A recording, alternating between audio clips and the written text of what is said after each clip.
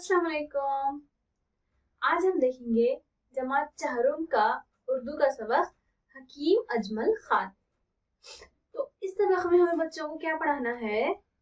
कि बच्चे हकीम अजमल खान को एक तबीब की तरह, एक हकीम की तरह, जैसे कि उनसे नाम से ज़ाहिर होता है, जानते हैं। लेकिन हकीम साहब सिर्फ़ एक अच्छे तबीब नहीं थे, बल्कि उन्होंने हिंदुस्तान की आज़ादी में हिंदुस्तान की सियासत में भी बढ़ चढ़कर हिस्सा लिया है, जो कि हम इस सबक में देखने वाले हैं कि किस तरह से उन्होंने क्या क्या एहतजाज किए क्या क्या कोशिशें की, वो क्या कौन से कौन से इसके सदर रहे, ये हम देखेंगे। इसके अलावा तीसरा जो अहम काम उन्होंने किया है, उन्होंने बहुत सारे समाजी खिदमात भी किए हैं।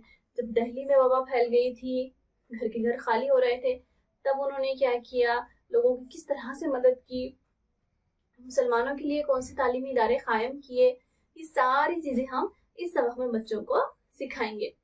ये सबक ये सबक पढ़कर बच्चे ये समझेंगे कि तारीख में जो लोग गुजरे हैं, उन्होंने किस तरह से मुल्क को आज़ाद कराने के लिए, लोगों की भलाई के लिए काम किए हैं, ये सारी बातें जानकर उनके दिल में एक एहतराम पैदा होगा, एक इज़्ज़त पैदा होगी।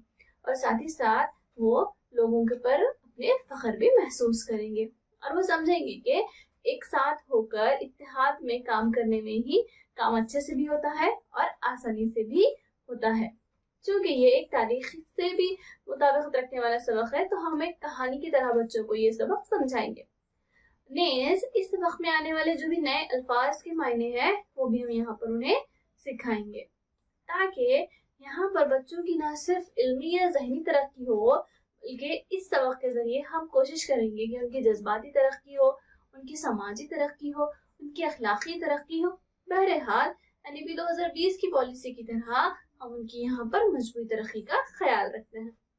तो चलिए आइए एक कहानी के ज़रिए, बहुत सारी तस्वीरों के ज़रिए समझते हैं ये सबक। हकीम अजमल खान। शुक्रिया।